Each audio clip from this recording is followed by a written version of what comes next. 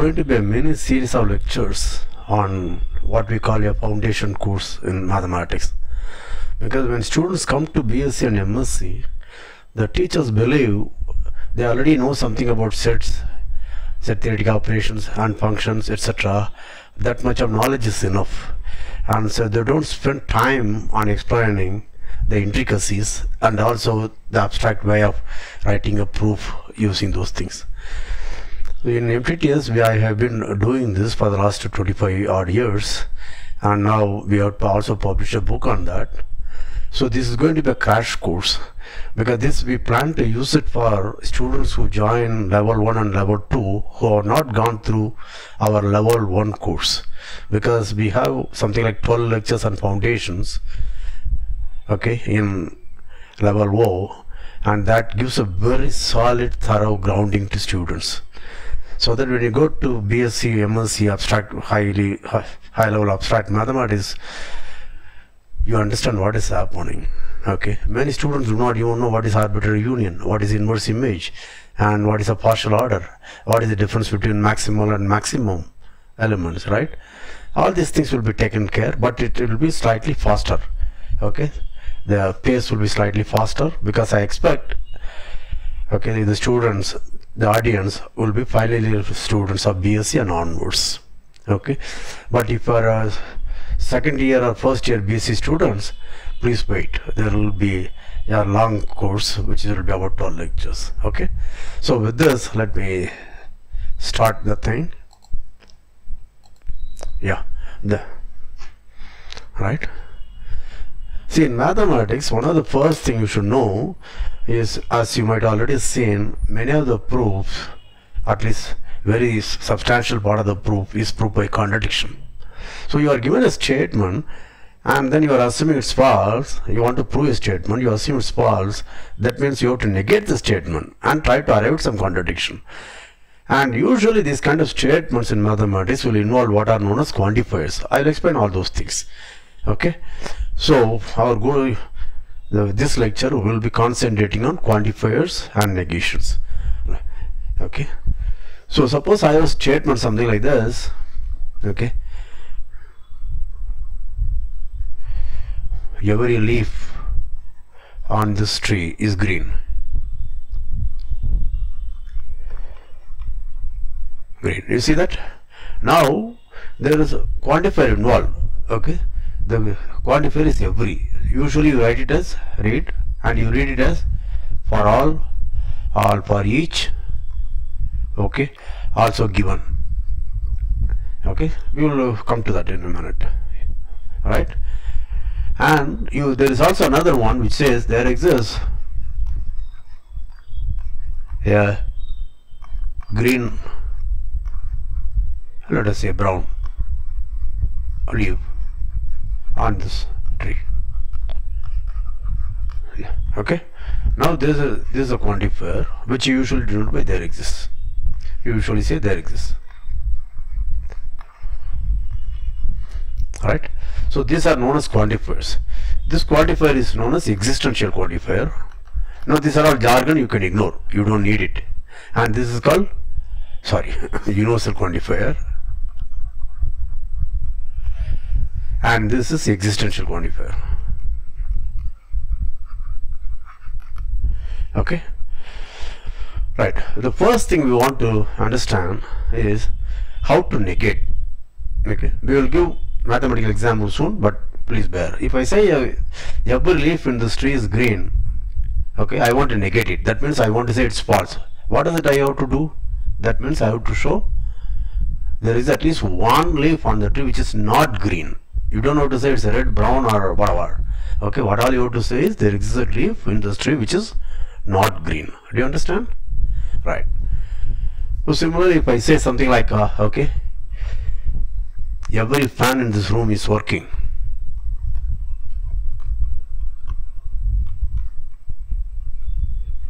If it is false what does it mean? It means that there is at least one fan in the room which is not working here. You see that? So the negation okay let us look at these two statements okay? There is another thing which you have to learn okay? Whenever I there is a quantifier involved there is always a set involved. Okay? Whenever there is a quantifier presence of quantifier implies the presence of a set. Okay? I will explain that. See when I say every leaf on this tree is green this is a set. The set is the set of all leaves on this particular tree right? And similarly I say every fan in the room is working. What does it mean? It is set of all fans in the room. Do you understand that?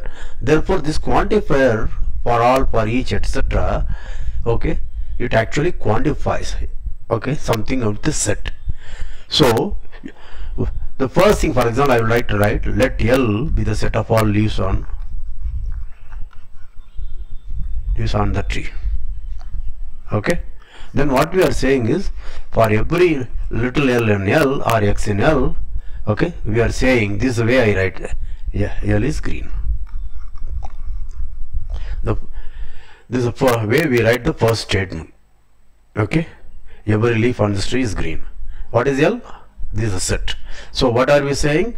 Every element of the set has a property. What is the property? The property is this the leaf is green okay? Similarly next let us look at capital F to be the set of fans okay? In the room. Okay? Then what does the quantifier says? For every F in capital F that is every fan every element in the set F is working. Do you follow that? So mathematicians always abstract this okay? So that you can apply in much more general statement. So any all these statements are of the following kind. What is the kind? That is you have a set x and you want to say for every x in x okay x has some property. Okay? P is a property x has p p is a property. Here for this statement the property is the leaf being green. And here the property is the fan is working. Okay it's a working fan. That's the property of the fan do you follow that? Okay. So how did we negate each of the statements? You see that? When I wanted to negate when I want to say the first statement this statement is false okay what did I do? Oh, sorry this statement is false.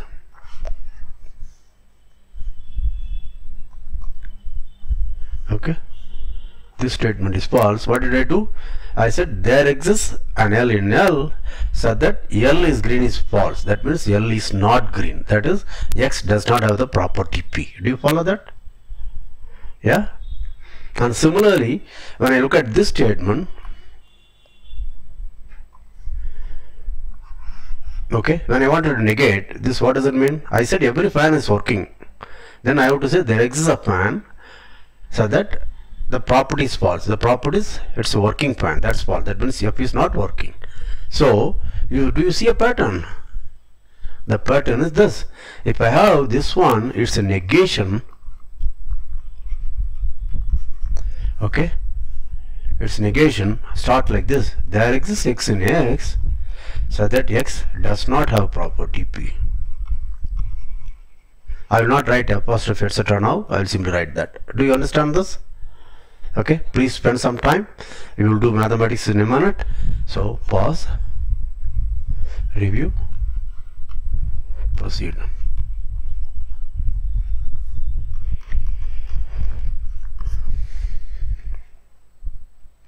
Quickly review all these three statements. You will have comfort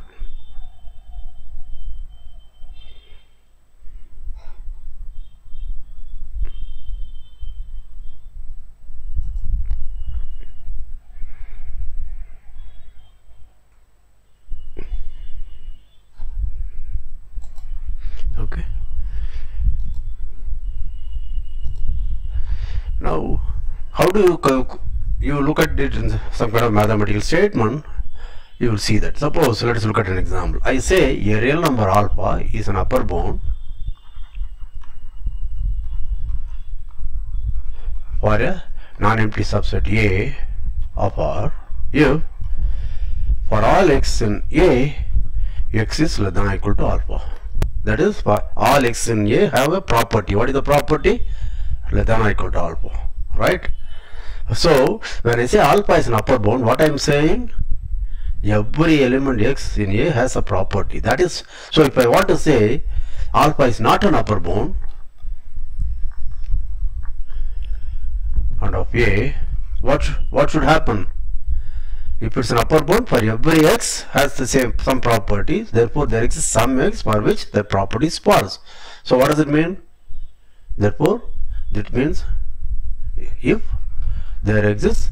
An x in A so that or you will write x is less than equal to alpha is false. That means by law of trichotomy x must be greater than alpha. Do you understand this? Yeah? So if alpha is an upper bound for A that means every x in A has a property common property. That is so if alpha is not an upper bound for A that means there exists at least one element. This statement is false. That means there is at least one element in A for which this property is false. But law of trichotomy if x is not equal to alpha x is not less than alpha then x must be greater than alpha. Do you understand? Quick. Here pause review and proceed so we already saw the use of it in mathematics. Okay these are the things if you learn. For example when you learn real analysis you may not have appreciated these things when you go to real analysis, measure theory, etc., and functional analysis, you will have problem because you have not understood this kind of thing carefully. Okay, so the purpose of this lecture is quickly go through these things. Okay, right. Now let's look at the other eh, quantifier. So if you notice, what did you do? We started, we looked at the statements of this form with the universal quantifier for every x in x x has the same property p.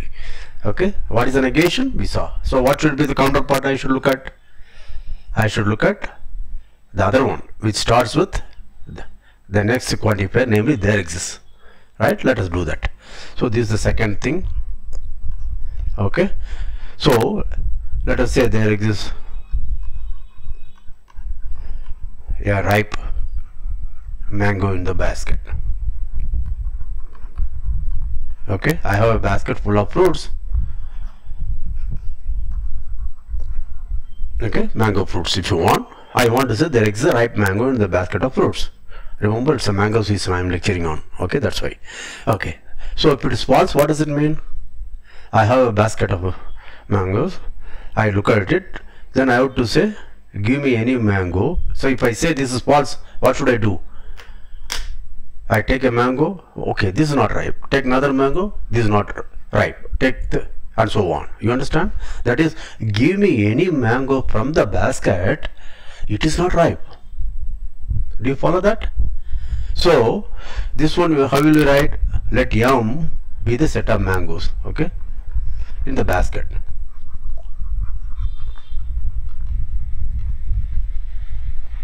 Right? Then what am I saying? Give me an x in m then x is ripe sorry. We are looking at there exists there exists x in m so that x is ripe okay so what are we saying? There exists in the set there is at least one element with some special property. What is the property here? X is ripe so if it is false what does it mean? You cannot say all mangoes in the basket are not ripe. That's a very wrong way of saying you understand this? Therefore, the negation, think of this, how will I prove? Okay, I have a basket of mangoes, I want to say there is at least one ripe mango. If I say it's false, what does it mean? The only way I can prove is take each and every mango and show that it's not ripe. So, the negation, we will say, give me any mango. So, you see that? So, here I will not write, for all x in m, I will not write, read it like this. I will write, given any mango x in the basket. Okay? X is not ripe. Okay? Don't read this as for all or for each. Okay? Even though it the the symbol is always read as for all but in the context you should learn. Okay? Please this is a very important thing you have to learn. Okay? For example when i said there exists a rich person in this room, if it is false, you cannot say all are not rich. All are not rich simply means everybody is not rich is also is not correct. You understand? If I say everybody is not rich, if there are 10 stu- people, then I want to say the none of the 10 people is rich. That's not correct. If I say everybody is not rich, it may mean somebody may be rich, somebody is not rich. So, if I want to say there is a rich pe- there is a rich person in this room, it is false. I should say take each and every person, give me any person in the room. I have to show he is not rich. Don't ask me what is rich. Okay, you understand what? Okay, are you following? Yes. Okay. Suppose I say same thing. Let us say, say this set of fans in the room, and I want to say there exists a, a fan so that X is not working. Right? Okay. So what does it mean? You take the set of fans in the room and you want to say there is at least one fan which is not working. If it is false, what does it mean? Okay. You will okay. You tell the electrician their fan is not working. You repaired it, but one fan is not working. Then he will challenge you. Show me a fan. So he will take each. He will switch. He will switch on each and every fan and show it is working. Right. So it's a negation. How does it go negation? Negation say, says, give me any x in f, and x is not working is false. That means x is working. So how will I read it? I will read it given any x in f. Do you follow that? So what are the statements you are looked for so far? Okay, the, the abstract version is the following. Okay, you want to, this statement is there exists an x in x so that x has some property p. So it's negation how will I read it? Don't you write a for all symbol. How will I read it? For all x in x, I don't read it. I will read it. Given any x in x, x does not have property p.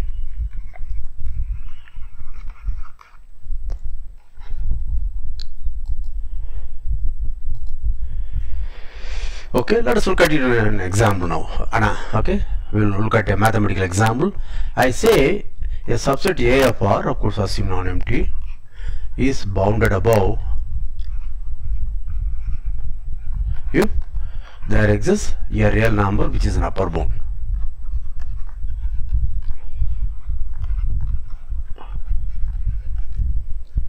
Do you understand that?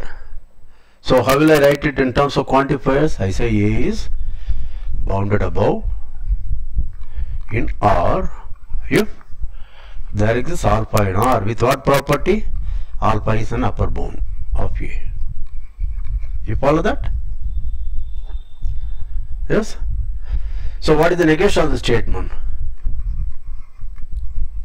I want to say A is not bounded above. That means if it's bounded above, I have to find at least one alpha. Therefore, you give me any real number alpha. What do I know about it? It is not an upper bound of A, right? You follow that? Yeah. So A is not bounded above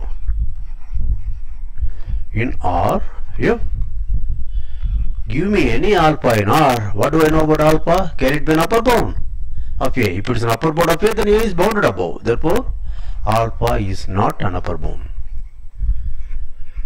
of.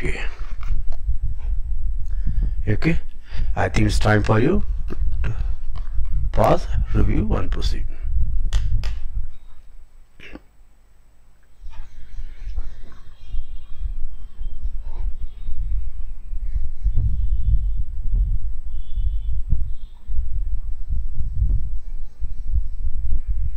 Okay, and mathematics is unfortunately is not this simple okay. There will be more than one quantifier in a statement. Okay. So now the third case is okay more than okay two two or more quantifiers in a statement and how to negate them. Right? Right. The first thing even before negation etc I want you to look at the following two statements. Okay, what I want to say is so what are the possibilities? Something like for all, for all, there exists, there exists, or for every, there exists, or there exists for all. These are the possible two, assuming two quantifiers are involved. You understand that? What I want to say is the order in which the quantifiers appear make a difference. The order makes a difference and it will be drastically different. Okay? What do I mean by that? I will give a very real life example so that you will appreciate, then we will put it into mathematics. Okay? Right. So, let us look at that. So, this is not going to matter, right? Only this one. Okay? Let us do that. So, let R be set of religions. What are the religions? Like Hinduism, Sikhism, Jainism, okay, Buddhism, or Christianity, or Islam, or Ju Judaism, and so on. Okay, these are the set of religion. Okay, let P be the set of people, set of human beings. Okay, people on earth. Right. Now let us look at two statements. Let us make sure that you understand that for every x in P there exists an R in capital R okay so that okay x oh, x follows the religion P. Religion R. Do you understand this statement? What does it mean? Try to understand. Do not get carried away by the symbol. You give me any human being on earth I want to say there is at least one religion. I will for the time being the religion also includes atheism. Don't say that I don't belong to any religion. Then atheism agnosticism all all are religion for me. Okay given any person on earth there is at least one religion so that X follows that religion. It may be agnosticism atheism or Hinduism or Judaism I don't care. You understand that? Yeah? So if you take a commemoration he may okay let us say let's not worry about let's take a Hindu sadhu then he will follow Hindu religion if I take uh, Mr. James Watson he may follow Christianity. If I take Ali Akbar he may follow he may follow Islam. And if I take uh, Balwinder Singh he may follow Sikh Sikhism.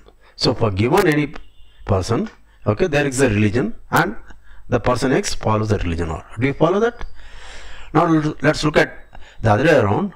There exists an R in R so that the same thing I am writing. For all X in P X follows R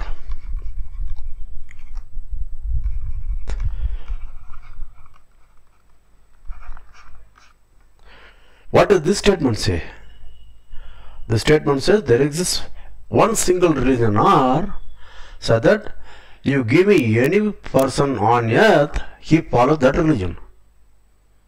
Do you see that? The second statement says there is only one religion everybody follows, whereas the first statement says given any person, there may be a religion which he follows. You follow that? Given, given x1, he may follow r1. Given x2, he may follow r2. Okay? r1 may not be equal to r2. Now, what do you think will be good for the uh, peace of human race. If the second statement is true, ah, everything will be peaceful on earth, right? At least now. Okay, do you follow that? So what what do you understand? You should understand the way we write the order of quantifiers is important. Okay, let us quickly give an example. Alright. Suppose I say A is bounded above in R okay what did we say there exists alpha a real number so that alpha is an upper bound that means for every x in A x must be less than equal to alpha. See I, you see that I'm putting brackets. Okay it's like a nested brackets. Okay? When do you say A is bounded above in R? Just now we saw. There is an alpha in R so that alpha is an upper bound. What is the meaning of alpha is an upper bound? For every x in A x must be less than equal to alpha. You see that? Therefore what is the order of the quantifier here? There exists followed by for all. Right? Suppose I by mistake a student write like this. He says A is bounded above in R if for every x in A okay? There exists alpha in R such that x is less than equal to alpha. Suppose he see he will say sir I wrote this. There there exists alpha in R, I wrote it, for every x in R, I wrote it, and for all x less than or equal to alpha I wrote it. So that they are the same. He may claim. Alright? Do you will you accept it? You not you should not accept. Why?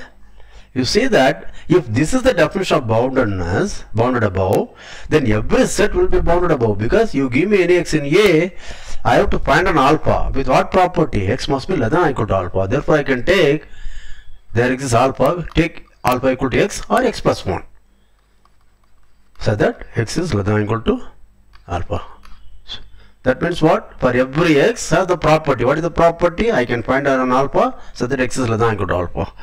Therefore, every set, non-empty set will be bounded above according to his definition, which is wrong. Do you follow that?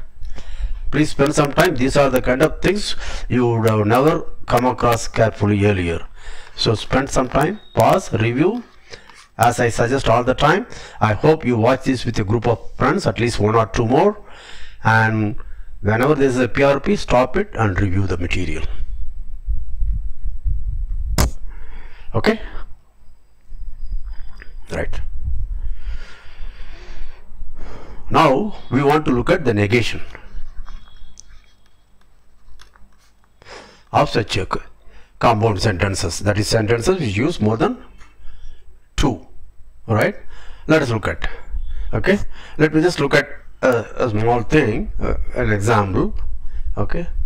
So if I say I want you to understand this so let us say. Suppose I have I am sitting in a okay there is a, an orchard okay? There are rows of trees okay? These are the trees. Trees must be green right right? Okay. Then what I want to say is okay in each row okay there exists a mango tree.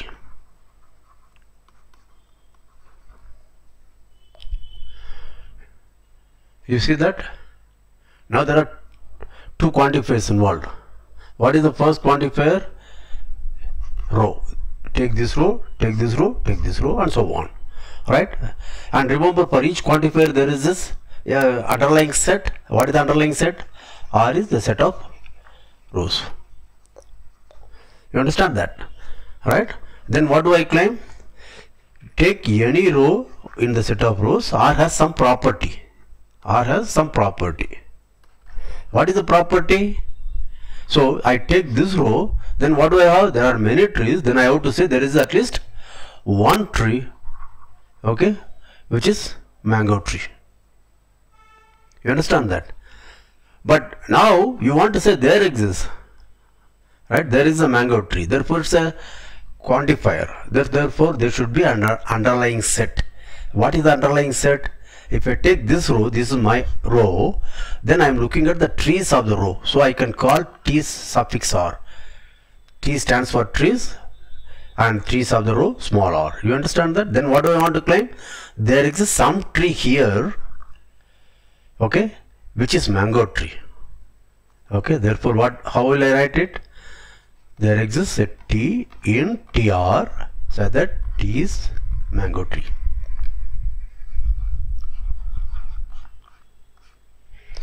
Do you understand this? Okay this kind of careful precise way of writing you may not have seen. So spend some time go through it. Okay if you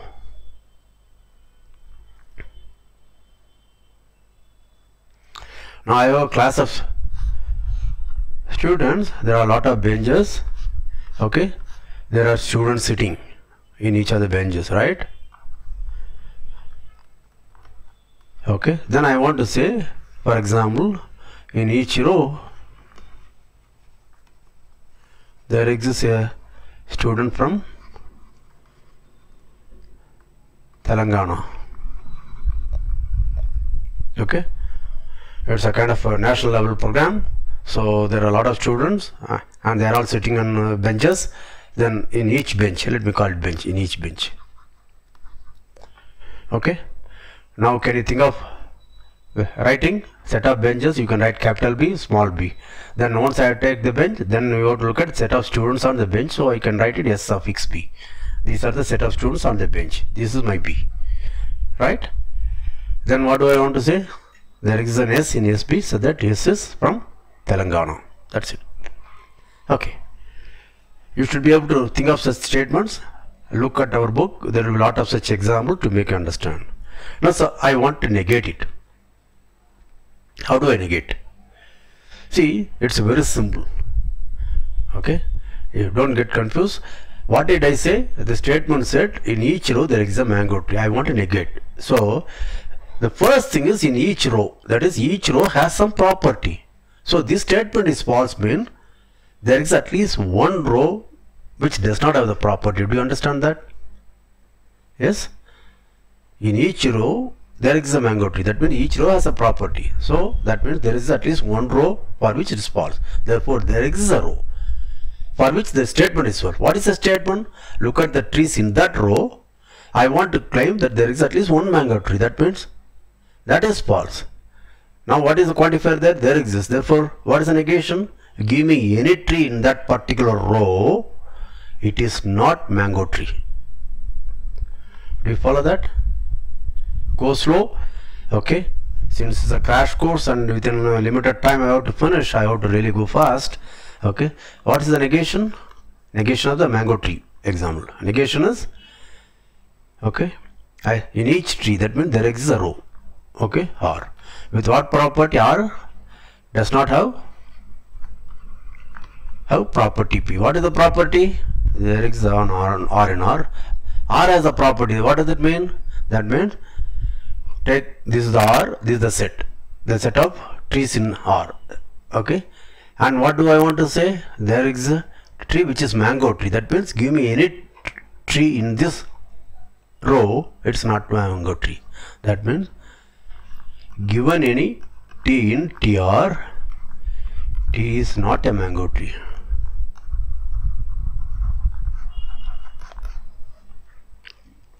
Do you follow that compare these two statements. The st first one unfortunately you know they are at far apart. So the original statement is for every r in r okay there exists t in tr so that t is a mango tree. This is the original statement. Now do you see its negation?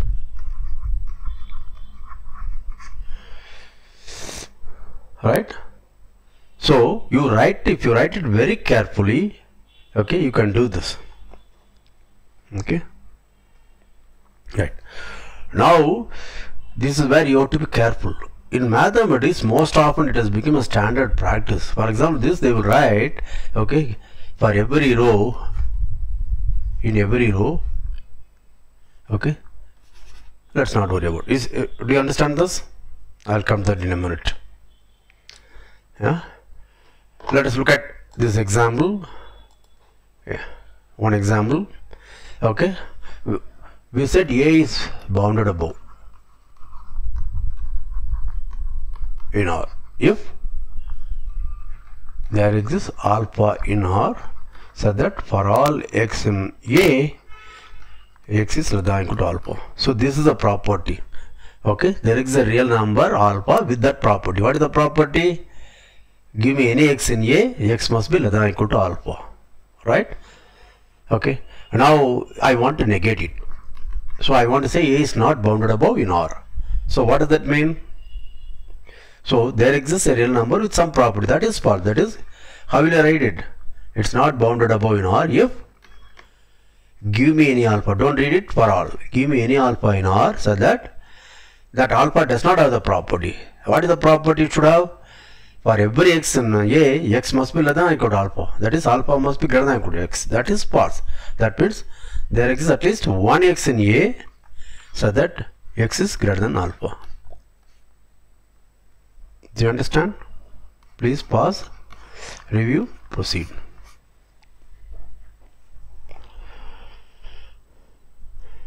Okay.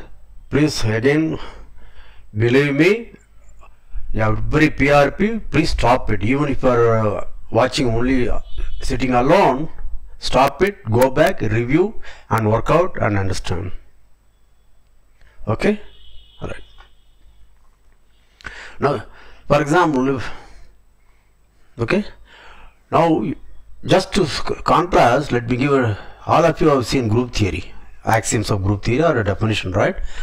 So what is the existence of identity existence identity says there exists an E in G so that for every G in G what we have is G star E equal to G equal to E star G. Do you understand that? So what is the order in which the quantifier occurs? So there is a single element E which is going to work for every G. We follow that. Whereas this existence of identity.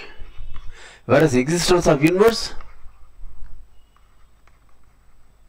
it says give me any g that is given any g in g there exists a g dash in g so that g star g dash equal to identity equal to g dash star g see that the order?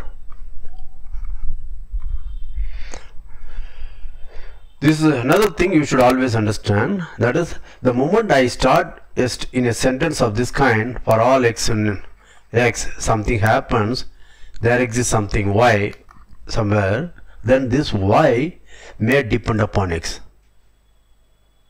You understand? For example if I take z under addition if you give me 4 as g then g dash will be minus 4 if you give me g as 0 g dash will be 0 if you give me minus 2 as your g then g dash will be 2 you see that for every g there exists this in general may depend upon okay. I'm not saying if this g1 and g2 are different g1 dash and g2 dash are different. That's not true. Please listen to me carefully. What all i am saying is this g dash will depend upon g but i am not claiming if, if g1 is not equal to g2 then g1 dash is not equal to g2 dash. I am not claiming that. Okay? Let's give, give one more example okay? Suppose f is a function from x to y. Okay? When is I say when do I say it's on to? All of you will have the mantra right? Every y has a pre-image. Okay? Right? But let's write it carefully. Here what do I want to say? For every y give me any y in y I want to say there exists an x in x. With what property? Y must be equal to fx yeah this is onto do you follow that? Yeah. Therefore when I say f is not onto that is I am negating this statement. What should happen then? Every y in y has some property. That is for that means there exists y in y. Okay. So that what happens this property is false. That is there is an x with some so that y equal to f. That is false. That means give me any y give me sorry give me any x in x then this property is false. Y is not equal to fx that means given there is some y for which no element is going to be pre-image. That is your popular definition. Do you follow that? Okay. So p r p. And if I have more complicated statements also I can do that. For example if f is continuous at a f is let us say at 0 let us say f is from r to r okay? What does it mean? For every epsilon greater than 0 there is a delta positive so that for all x where in the set minus delta to plus delta I have mod fx minus f0 must be less than epsilon. Do you see that? You see for all followed by there exists again followed by for all. Yeah usually you can see the textbooks will write it in a slightly different way but it's always a good idea to write down quantifiers in proper order at the beginning of the statement. For example this one they will write for every epsilon greater than 0 there is a delta positive so that mod fx minus f0 is less than epsilon for all x in minus delta to plus delta. This is what they will write. You see that? But there are actually three quantifiers. What is? For epsilon and there exists and then for all x something has happened. Therefore it is always a good practice to write the quantifiers at the front in this way. Therefore this is the one and this is the second okay and this is the third.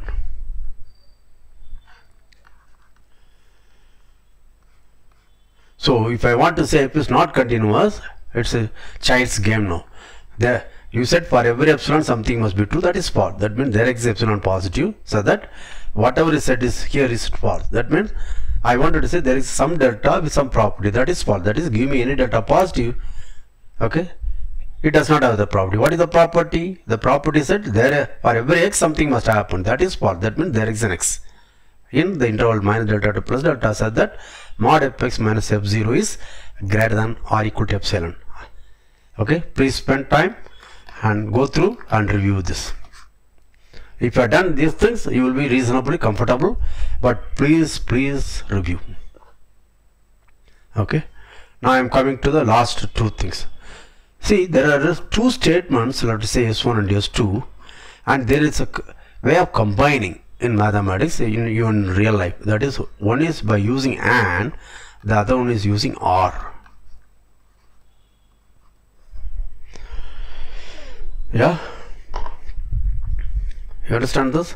Now the first thing you should understand is this is a new statement okay? And this is a new statement t okay? So when is yes true? Yes is true if and only if s1 is true s1 and s2 both are true okay? When is t true?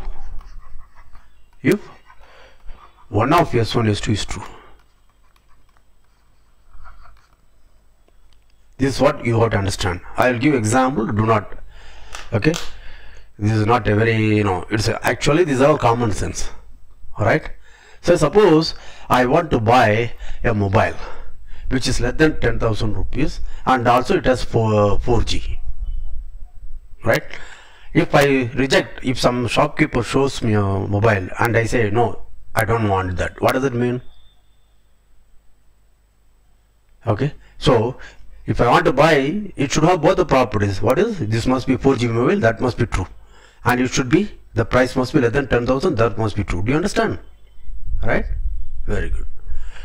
So when I say S1 and S2 is a new statement is true that means both S1 and S2 are true. Do you follow that?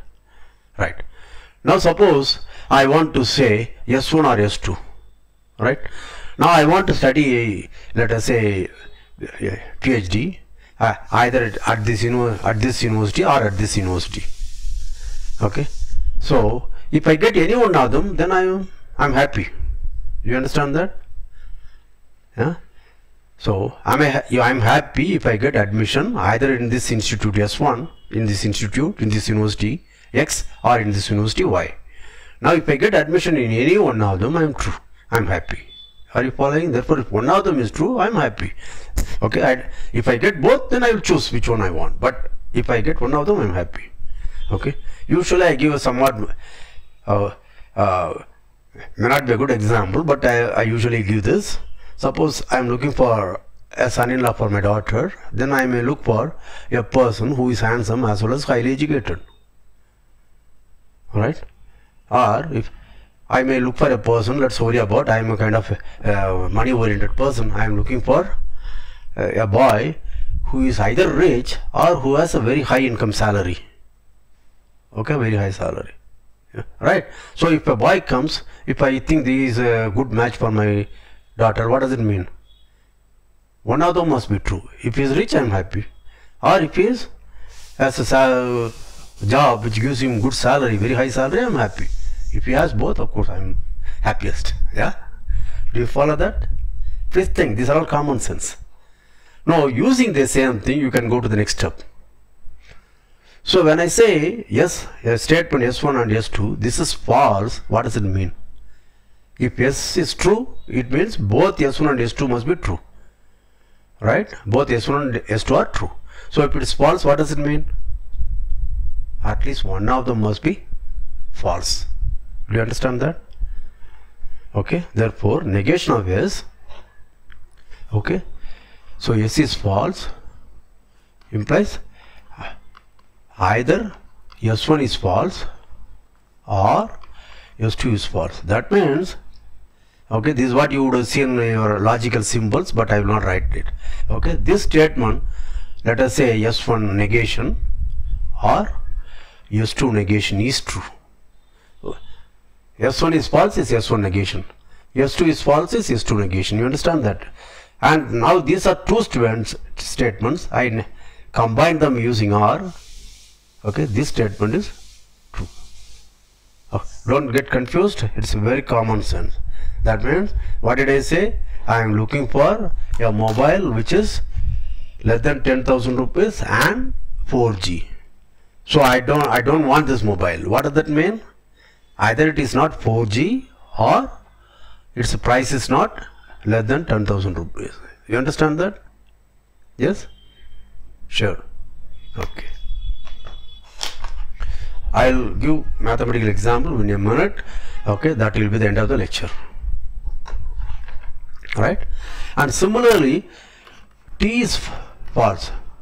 What does it mean t is false when is t is false if one of s1 or s2 one of them is true then t is true. Therefore if t is false what does it mean?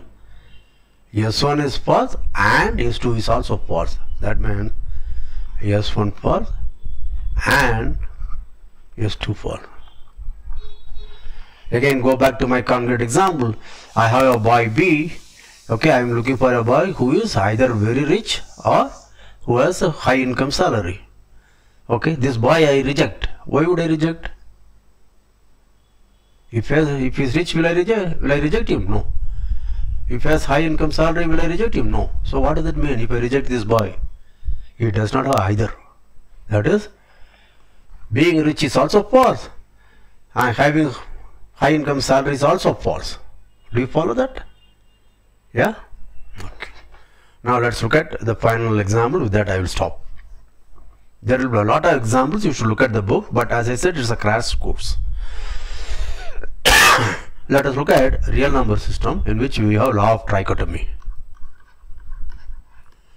What does it say? Give me real numbers x and y. Then, okay, one of the following is true. What is true? Either x equal to y or x is less than y or y is less than x. And exactly one and only one of them is true.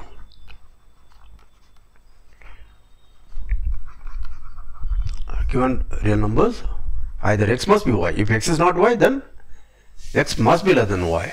If x is, if both are false, then it must be y less than x because only one happened. Right? Right. Yeah, let us look at uh, a concrete example. No, I will give an easier example. I just thought of the easier example. Let us look at the set A, this interval, okay, A to B. Okay, now this is a subset of R. Now, given an element x in R, when does x belong to A? You simply say A is less than or equal to x, less than or equal to B. You understand that? Yeah, but notice that if this x belong to A, that means x has to satisfy two conditions. If and only if x must be greater than or equal to A and x must be less than or equal to B. Do you understand that? If x has to be in the interval A, B, then x has to be has, has to satisfy two conditions. Okay, the first condition is x is greater than or equal to A. Second condition is x is less than or equal to B. Right? So x belong to A is a true statement only if this is a true statement and this is a true statement. So this is like your yes, this is like your S1, this is like your S2. Therefore, if x is not in A, that means this is false. Okay? Negation of yes. What does it mean? That means x greater than equal to A is false. By law of trichotomy, that means x must be less than A, that is x1 complement or x less than equal to b is false that means x is greater than b. You understand that? So what does that mean? That means x is either here or here. Either here or here. You understand that? For example x must be may be greater than equal to a but it may also be greater than equal to b. You follow that? So I have AB okay? X may be greater than equal to a but x may also be greater than equal to b. One condition is satisfied but the other one is not satisfied. Please go through it. Okay?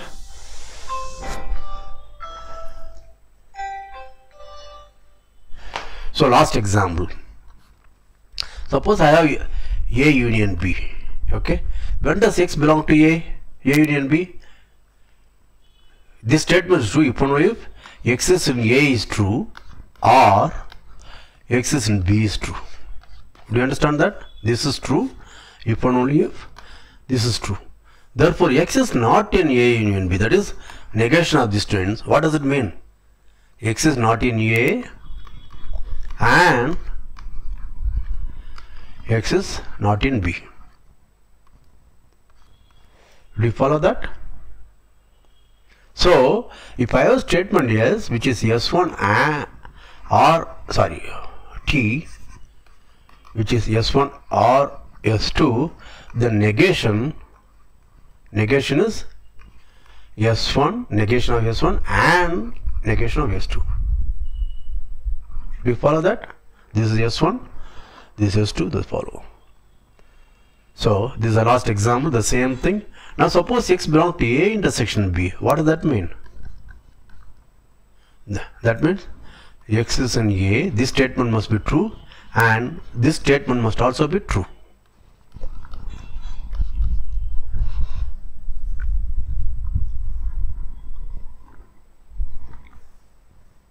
Right?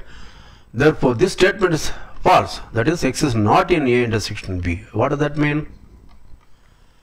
That means uh, this statement is false or this statement is false that means x is not in a this is s1 this is your s this is s1 and s2 therefore x1 is not in a or x is not in b. That means s1 okay is false or s2 is false.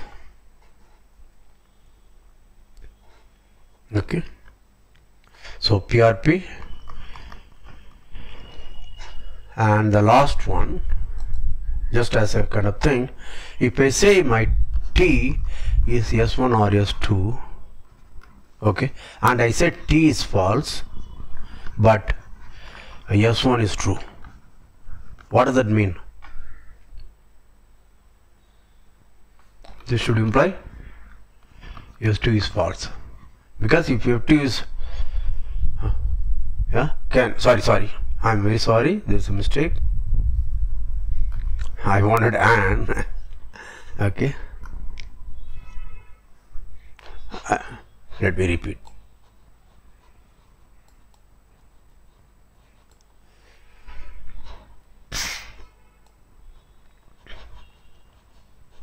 I'm sorry for the mistake. Just it's a time pressure is sitting suppose T suppose T is true right? But I know S1 is false. So what can I conclude? Since T is true you already know S1 is false therefore S2 must be true. Do you understand? This is the kind of thing you will use in my uh, proof. You want to say x, x is x has property p or x has property q then you will say suppose x has property p nothing to prove forget it therefore let us assume x is x does not have property p. Then I have to prove x has property q. Have you seen such a proof? Think about okay? Have a good day. As I said please review each of the things and you will be happy with that okay? So please review. At each PRP go back and review and then do. And if you have if you can get hold of the book on the foundation course mathematics please buy that. You will see a lot of good examples. And as a whenever you have as a hobby you can keep reading it. You will begin to understand mathematics in a much much better and deeper way. Okay? Take care. Stay safe